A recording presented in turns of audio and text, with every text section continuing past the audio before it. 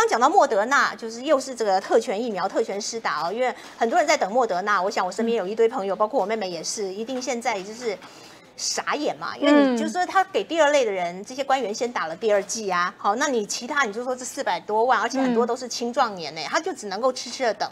我个人是觉得这个逻辑，这个很不合逻辑，就是说口口声声在喊的是追求群体免疫，现在是不追求群体免疫了吗？也就是说，不是人人应该都先打第一剂嘛？因为我到现在我也是没打嘛，对，因为也都是不符合资格。好，但。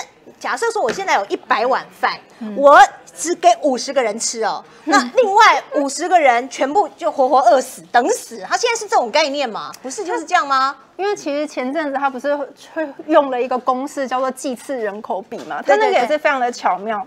因为一般的话，我们都是把第一季跟第二季的涵盖的人口去做一个分别的计算，我们是把它分开。他现在把它加一起，没错，一季跟二季加起来之后，我数字漂亮一点，我那个数字当然好看啊，所以。变成说，你看哦，这些中央官员好了，他们现在如果第二季都打好打满，哎，我也是对于这个数字有一个贡献，也是让它提升。但问题是，打的人还是那些，我们很多人是第一季是打不到，所以我觉得现在那种。大家人民那种不满跟那种被相对的那种剥夺感，我觉得真的是非常的重，就会觉得说，哎，到底凭什么啊？你们现在是怎样？中央官员，你蔡政府的血统是比较尊贵，是不是？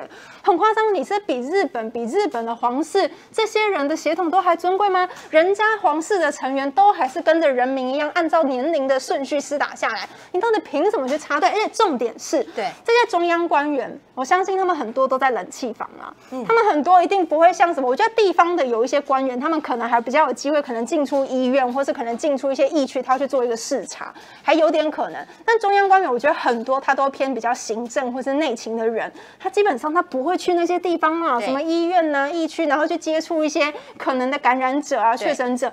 我觉得他们的风险没有那么高。但你为什么这些人你还可以去打第二剂呢？而且你打第二剂。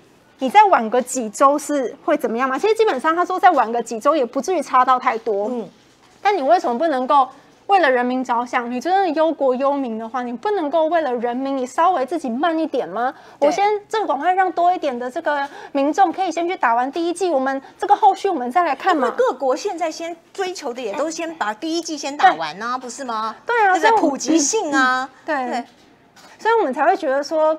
这政府哦，有时候就是这样子，他会让人家觉得 好像很多事情他好像有在为人民着想，但其实他做出来完全是反方向，是，或是他其实根本就没有真的去为你着想，他很多事情其实是为了他们自己的党的利益，是，或是他可能为了他自己选举的利益，他去做了一些考量，然后去做出这样子的一个结果。但是我觉得最夸张的地方是。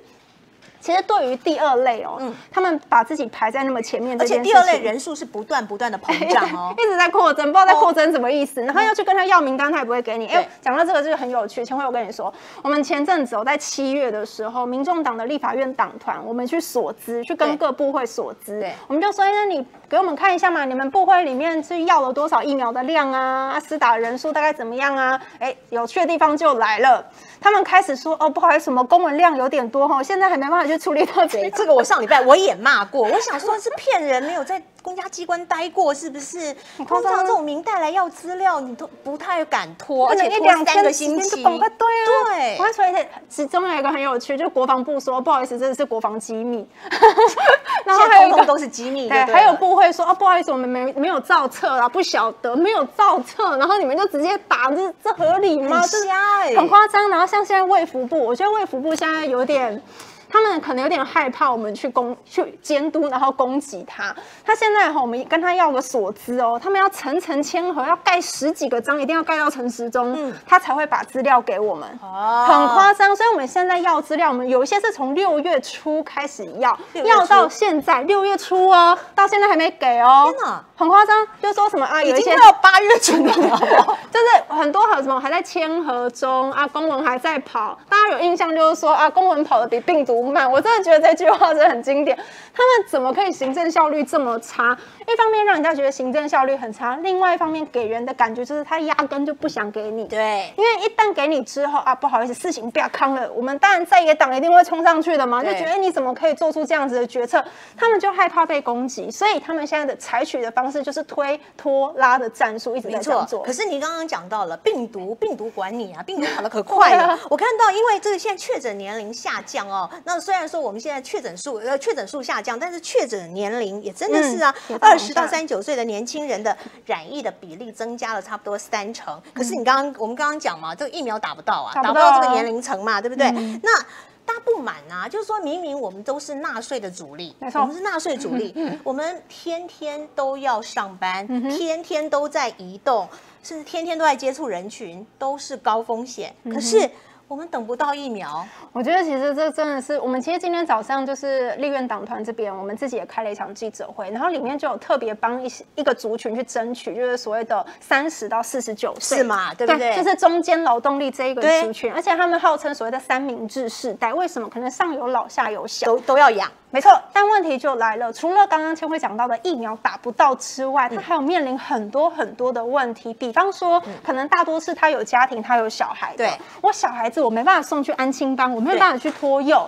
但是我又要上班，那到底谁照顾小孩呢？哎、这是一个很大的问题。另外一个就是纾困，他可能因为年资的关系，他连纾困他想领都领不到。嗯另外就是在上班的事情，因为很多可能变成是无薪假，他可能被减班，所以薪水也减少，种种这么可怜哦，他还是打不到疫苗，对不对对？然后现在又因为开放 BNT，应该会先给十二到十八岁开打，这件事情真的是有引起了我们刚刚提到的那个所谓的中间劳动力这个族群的，哎、很大的反弹。其实真的是蛮反弹，但我必须讲，我觉得大家不是想要去跟这些学生可能去计较这个所谓的疫苗施打顺序，我觉得大家真正生哎，这这边有网友说，呃，偷打疫苗跑得比公文快啊。对，他有道理，这句话说得非常正确。对，我我刚刚提到的是，我觉得其实三十到四十九岁这一个族群，我觉得大家不是想要去跟年轻人计较，或是去跟学生计较，说你们怎么可以先打？我觉得不是，而是我们真正在乎的是，你政府怎么会让疫苗来的这么慢？而且大多还是人家捐赠的嘛，不管是国际捐赠或是民间捐赠，你就会觉得，哎、奇怪，你们之前自己花的那笔三百四十亿的这个纳税钱，我到底花到哪里去？对哎、到底进谁口袋？你跟我说清楚哦！哎、不要再问了，居心叵测。对，我觉得这什么话都可以说你居心叵测，我觉得这也太好回。现在是怎样当官这么好当，是不是？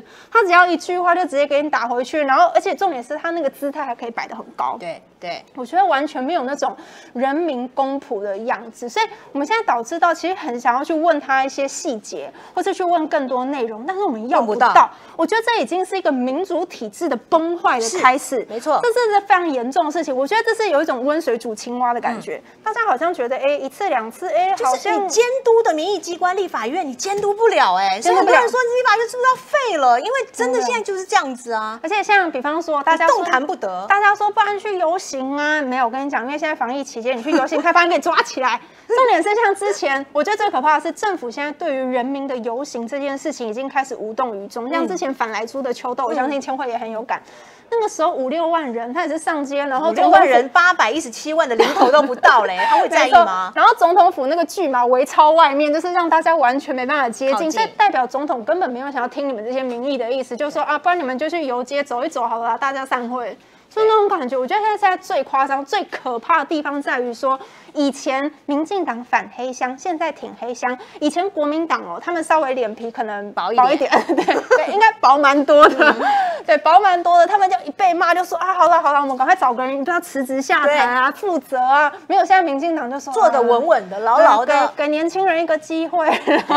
哎，一句话带过就没事，所以我觉得那个真的是天差地远。现在真的是他们完全执政，我们在立法院想要监督，完全就是在野的势力加起来也没办法过半嘛，所以这个真的是现在非常大的问题。对，而且现在呢，就是主政者哦，包括你说陈时中，你说那个第二类啊，为什么呃可以现在打第二季呢？他就是大刀一挥啊，他说了算啊，就是这样啊。那问题是，你说好啦，这个他们都有目的性的哦，就是说其实都是为了高端，为了国产，但也没关系。可是你你你一来你这个东西你说服力你没有拿出来嘛，保护力的东西，对那我怎么知道我打了之后能能不能保护呢？这是第一个，所以大家还有高度的疑虑。那第二个，也就是说，你凭什么拿人民拿我们的纳税钱，所谓去护航，甚至搞不好图利，嗯哼对不对？所谓这些民间还是民间哦，民间的生技公司，对对，其实说老实话，它虽然是呃民间的公司，但其实它是有跟政府领补助的，所以不管对，怎么还有拿说补助，对你既然拿了补助，那你应该就要公开的接受民意代表监督，你就是应该要去接受立法院的监督。所以我们在野党去跟你要资料的时候，你应该要尽快的给回复，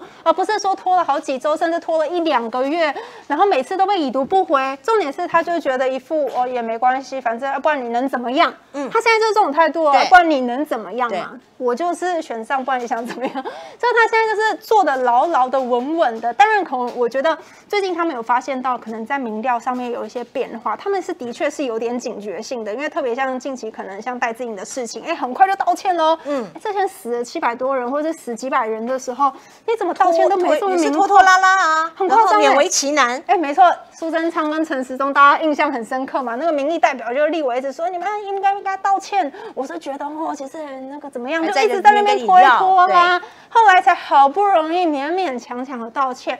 然后其实当时哦，像这个好像在死三百多人的时候，那个时候蔡英文他也是一直去关心可能国外的事情嘛，嗯然后什么关心志春健呐，或是可能关心在美国这边呐、捷克啊，就是。就大家其实心里会觉得很奇怪啦，会觉得说你到底心里有没有人民啊？嗯，都已经这么严重、死伤这么惨重的情况之下，你为什么不尽快的道歉呢？可是这一次因为可能触及到他们年轻选票的问题。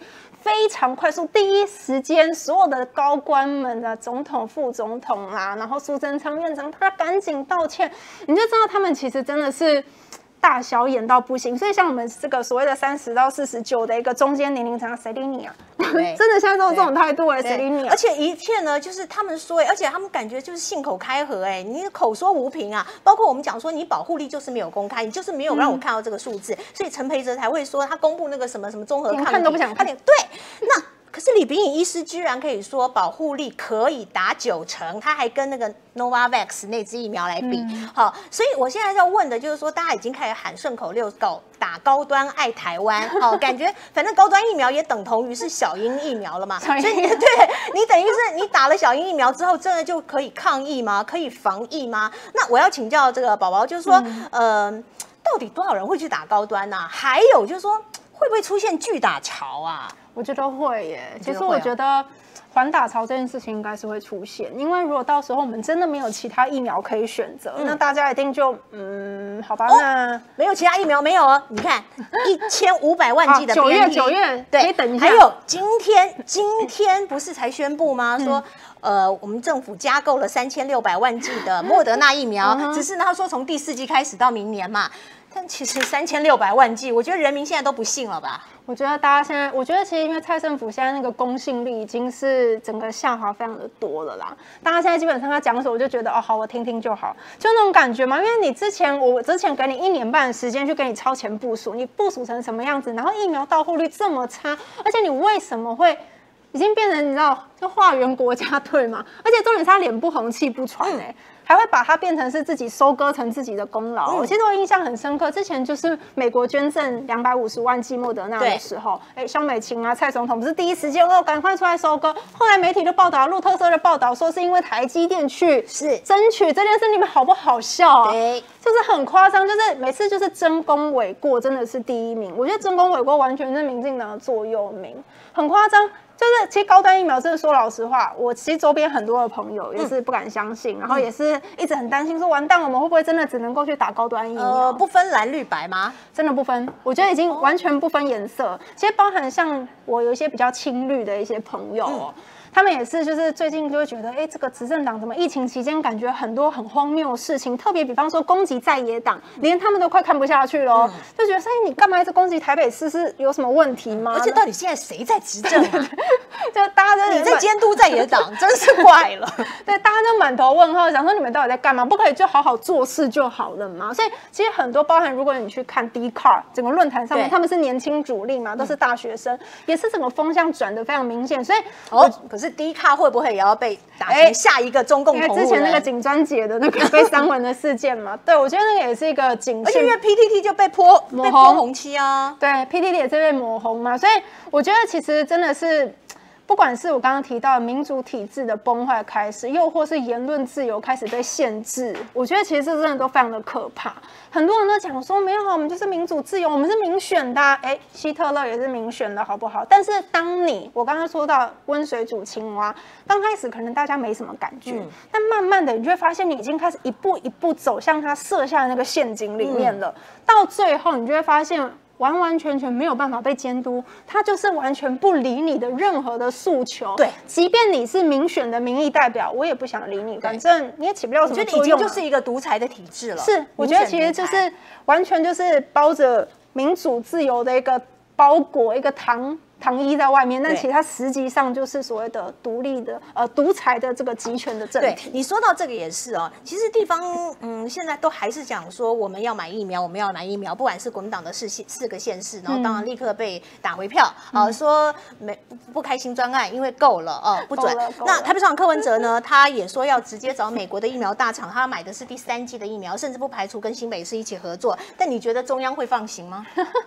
我觉得这也是很大的问题啦。说老实话，连之前郭董跟慈济可能都已经卡了好一段时间了，连他们都没有所谓的什么太多政党色彩、政治的包袱，都被挡成这样都样，被挡成这样。现在其实国民党就是一个非常明显的例嗯子，这些各县市他们的一些县市首长想要一起来合作，然后去争取疫苗，现在就已经跟你说我疫苗就够啦，他很明确，就是那个态度就摆在那边，他其实就没有想要让你去揽这个功劳，嗯或是去收割任何跟疫苗相关功劳，因为他们发现到疫苗这件事情人民非常的重视，因为是跟我们的人身安全是有关系的。如果这个这么重要的功劳被你给揽下来的话，我明年选举还玩什么啊？嗯，我觉得他们现在其实心里都一直有这样的打算。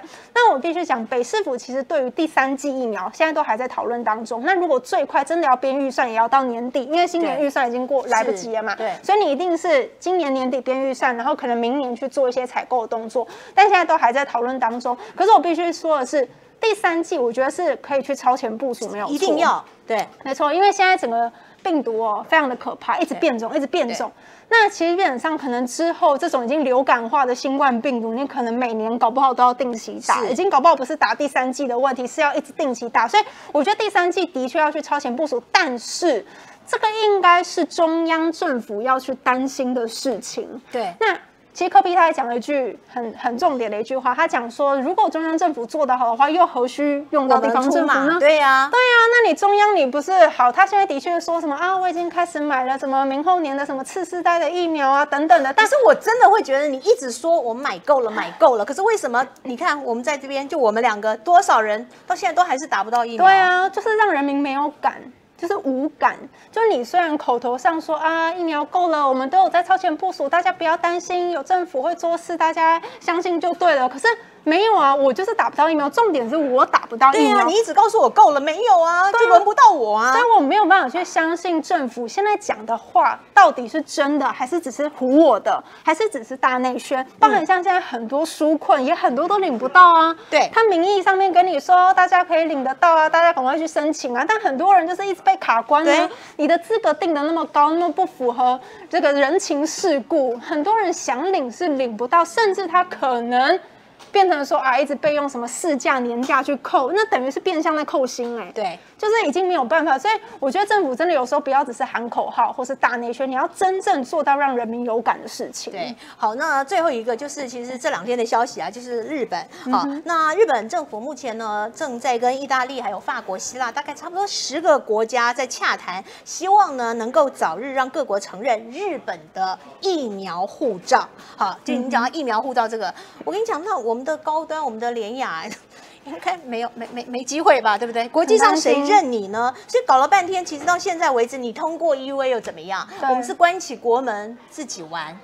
我觉得真的是自己玩，就是自己玩的很开心，重点是还玩的很开心，觉得说哇好棒哦，我们有自己通过 EUA 的这个认可的疫苗，因为我们以后要走到国际上，目前看来你还真的是要打国际疫苗哎、基本上现在看起来还是这样子。因为大家如果只认那个疫苗护照的话，是啊，而且现在高端疫苗有一件非常诡异的事情哦，因为其实陈时中他有说，呃，我们会滚动式的去监看，每个月你都要回传所谓的安全的评估性的一些相关的报告跟数据，你随时都有可能被收回 EUA 哦。哎，他这句话的意思就是拿人民当第三起白老鼠，是不是？对他这边很明显就是让人民来做他们的试验品嘛，做实验品嘛。